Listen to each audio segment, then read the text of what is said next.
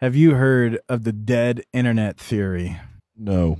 Around 2005, 2015, 2016, AI started getting so integrated into social media and integrated into the way the internet infrastructure works. Became sentient. Well, basically, they have been allowing AI to control and monitor and alter the internet as we know it. And as AI has been learning more, they slowly have been deleting old information and propagating new information. And how would somebody go about verifying this?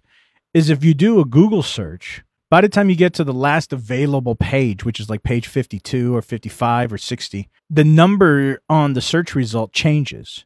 And it goes from being at a billion search results to the actual number that you've just clicked on. They're showing you a number in the beginning as a facade, but when you get to the last page, it tells you the reality of the results.